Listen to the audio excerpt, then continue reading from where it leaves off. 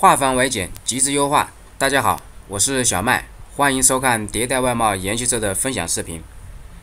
从本节开始，我来给大家分享邮件营销的第二个大的部分——执行。那么之前我们已经讲了这个邮件营销的整体的一个思路。那么你听了这部分内容以后呢，应该对整个邮件营销的这个体系和框架了，应该有了一个非常清晰的一个了解。呃，包括我们为什么之前这个邮件效果比较差，是吧？这个原因是什么？你现在应该有一个呃很清楚的答案。那么包括这个下一步，那么我们去做这个邮件营销，它的核心思路是什么？以及你如何避开，是吧？这个很多垃圾邮件的陷阱。那这应该都都都是一些基础性的这种基础性的一种思维。你具备具备这种思维以后呢，那么你的下一步来做这个执行的时候呢，应该说就有了一个比较好的一个思维的一个框架。呃，换句话说，我们研习社呢说这个化繁为简是吧？极致优化。那么首先第一步就是你要把这些我们原来看起来哎感觉很复杂的工作内容呢，把它系统化。把它落实到一个一个的什么执行点上面去，或者说优化点上面去，然后呢，逐步逐步对这些点怎么样进行优化。那么从本节开始，我们讲这个执行这一块儿，啊，邮件执行这一块呢，主要就是从六大要素、五律，是吧？这两块来给大家讲。当然，我们这个呃，到后期你做这个邮件营销的时候啊，就是你用这个邮件去开发订单的时候呢，你主要关注什么呢？你的关注点或者说你的执行运营这个考核的点在五律上面。啊，那我还是把这个图来打开啊，我们还是在这个五律上面是吧？你的这个邮件营销最终这个效果是吧，好不好？对不对？那取决于什么？取决于你这你这几个点是不是是不是有有有没有做到位是吧？你最后你这个地方效果好不好？不清楚，对不对？那么你这个地方做好了，这个地方做好了是吧？一个一个的，是吧？都做好了，因为我们上次之前说过，这是个乘法关系，对不对？它是它的这个乘以它乘以它再乘以它。然后它的乘以它，这是乘法关系。其中只要有一个地方你的这个数字非常低，是吧？甚至于接近于零的话，那你的整个乘起来怎么样？都是零，对不对？这个思路啊，不断的跟大家强化啊，就是你邮件营销营销的效果不好的时候，你一旦倒过去想，我是哪个，就是五律上面我是哪个律上面可能会有问题，是吧？然后你通过这个不断的测试，是吧？然后优化来进行这个什么，进行这个效效效果的一个提升。OK，那我们。回到今天我们要讲的这个内容，那么五律是由什么？是由这个六大要素决定的，是吧？那么所以说呢，这个五律大家现在已经知道了。那首先呢，嗯，呃，要给大家讲这个六这个六大要素，是吧？那么这个我之前其实一一直也在考虑啊，是先给大家讲这个五律，还是讲这个六要素？因为嗯，从目前我们研习着自己的这个。呃，我们自己的这个内部学员的情况来看呢，我们现在主要是在已经开始在研究六六这什么六要素了，因为五律实际上已经就深深的烙印在烙印在这个大脑里边以后啊，这个就是我们就没有必要再去强化了，是吧？就这执行点一有问题，马上从这个地方看，但是每一个每一个律上面。是吧？具体到每个率，你说我我这个精准率不够，我可能是或者说我可能是我的收件率不足，是吧？那这个时候该怎么办呢？它是倒过来，倒过来，我们去从什么六大要素里边去去来找解决解决方案的，或者说这是优化的一个什么优化的一个具体的执行的一个点，是吧？但是呢，但是我呃我想的话呢，很多这个很多呃呃的。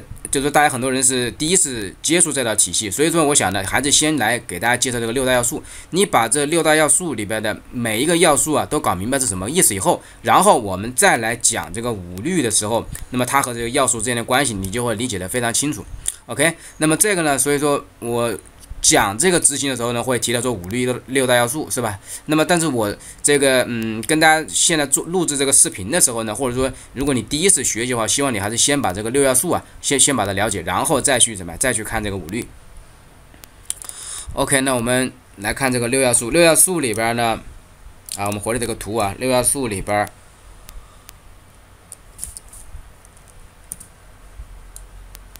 是吧？我们看看，这是一个、两个，是吧？一共是六个要素。那么，今天我们先来讲什么？先来讲第一个要素啊，我们讲这个 IP 啊，IP 是我觉得是整个邮件里面的非常重要，也是很容易这个被人忽视的一个要素，因为我们绝大多数人呢没有专业的或者系统的去学过这个邮件营销，是吧？那么所以对这个对这个参数呢，可能呢并不是太敏感啊。呃，讲这个 IP 呢，我首先要强调一个观念，就是什么呢？或者应该叫重申了，就我在之前也强调过了，就是呃，不要盲目去听信这个市呃这个市面上有一些这个所谓专家啊或者怎么地啊去呃强调，就他们说什么说这个国外的服务器就邮件服务器啊。它不接收来自啊中国的 IP 的邮件，你到网络上去搜这样的言论呢很多很多，我觉得呢害人不浅。为什么呢？呃，也有可能是有些人自己做不好，所以说把这个当个借口，相当于给自己一种心理安慰，对吧？那我觉得呢，你真的想把业务做好的，不要去给自己找这么多的心理安慰。所以这里我首先要跟你强调一点啊，这个说法是错的。呃，根据我自己的实操经验来看呢。大部分或者说绝大部分的国外的这个邮件服务器没有这档子事情，没听说过要什么封屏这个屏蔽啊中国的 IP，是吧？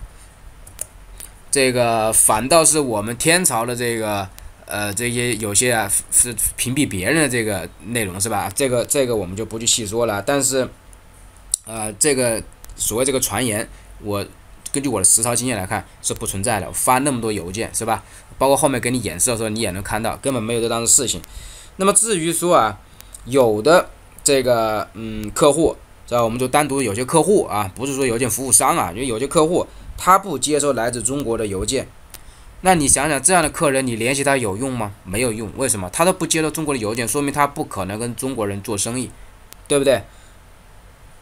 所以说呢，那关于这一点呢，我们也没有必要去这个纠结。是吧？这个首先跟大家强调一下啊。那么，呃，换句话说，我讲这个 IP 就不是针对这一块去讲的啊，去讲什么呃这个中国的 IP 呀，是不是我们要去突破呃中国的 IP 啊？啊，不是这么个事情啊。那么，那么我说的这个 IP 呢，可能有些朋友会说啊，这个我平时发邮件也没在意 IP 呀，也不是呃就是也不是也一样的这个发邮件没有任何问题啊，我跟客户的往来对吧？那么你说这个没有错，那是因为什么呢？你你的发送量不够大。啊，你的发送量非常小，比如说一天你发个几十封，是吧？有人可能多一点，上百封，对不对？呃，再有可能你的这个，而而且不能坚持，比如说你今天，你说我今天这个心血来潮，很努力，我发了三百封，哎，明天你就发不下去了。像这种情况，一般来说你的 IP 资源呢就不会显得不足。或者说呢，你不会去触犯到我们之前讲过的这个什么垃圾邮件的这个，就是邮局啊对垃圾邮件的这么一个呃筛选和屏蔽的这么一套体系是吧？评分体系你不会进去，对不对？因为你的量不够嘛，持续时间不长嘛，是吧？但是如果你的量想上去，比如说你每天发送的邮件是以几百甚至于上千啊这样的为单位，而且是要持续不断的去发送的话，是吧？那你的 IP 资源。就一定是一个问题，因为我们之前呃给大家分享这个用谷歌搜索客户或者各种各样的方法搜索客户的，你会发现用用了那些方法以后，你能获得无穷无尽的客户资源。当然，你这个客户资源的质量有高有低，是吧？但是从数量上来说是没有任何问题的。对吧？而且是和你这个产品基本上是能够对口的。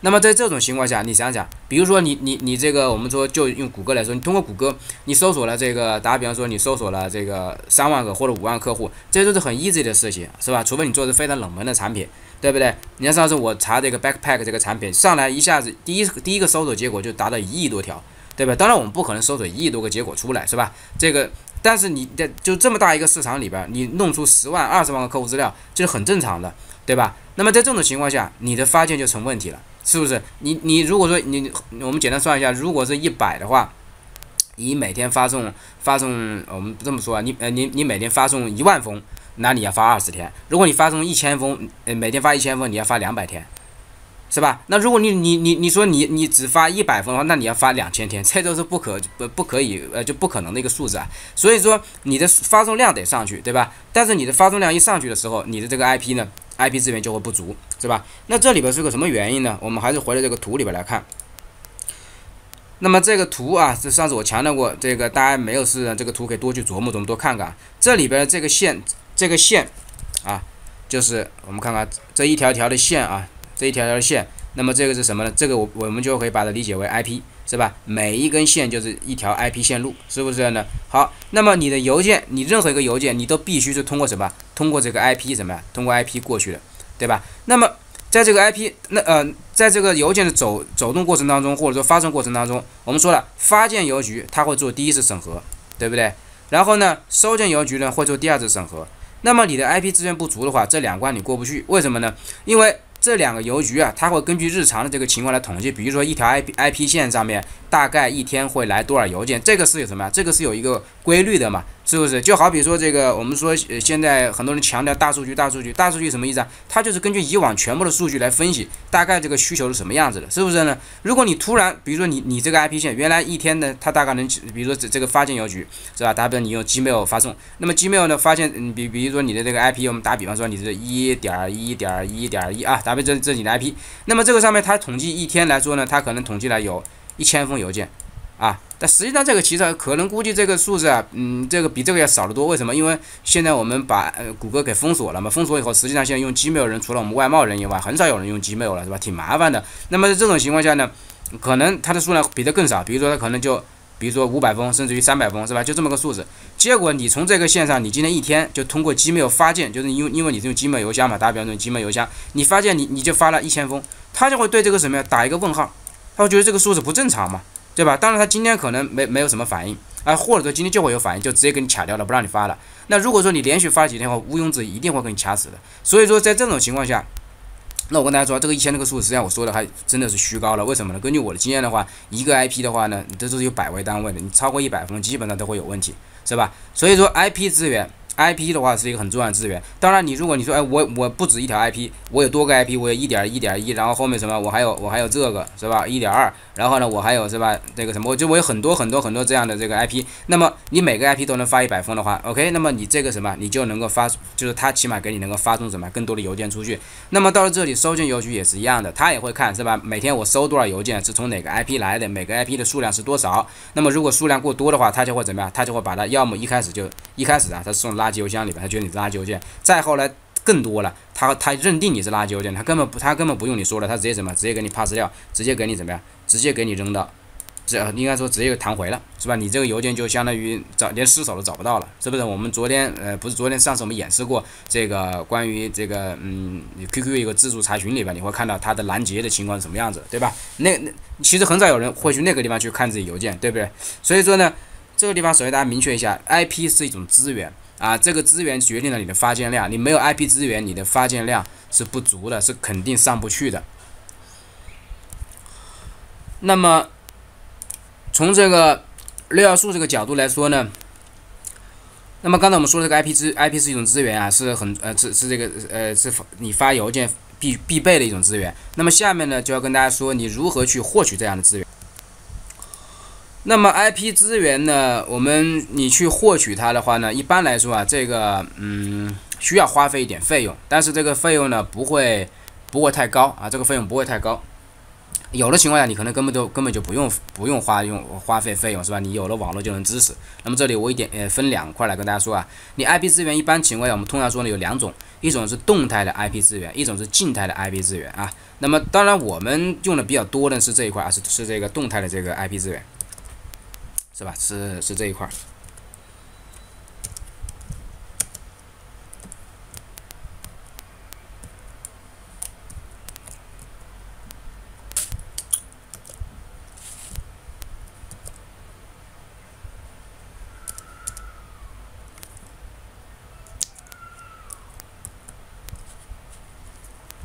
OK，那么是这一块啊。那么关于静态这个呢，一会儿我跟大家说啊，这个呢。如果你能获取这个的话，就你能得到这个资源的话，当然非常好，但是的费用费用会非常的高啊。那么，那我们来来看一下动态 IP 资源呢？我根据我自己使用经验了，通常就这四种啊，很少再能够跳出这四种四呃四种方案的啊。呃，那我一个个来跟大家介绍。第一个呢是这个 VPN，是吧？VPN 这个，我相信做外贸的朋友应该是还是应该比较了解啊。这个因为我们这个翻墙啊或者怎么地啊，很多都使用这个 VPN，对吧？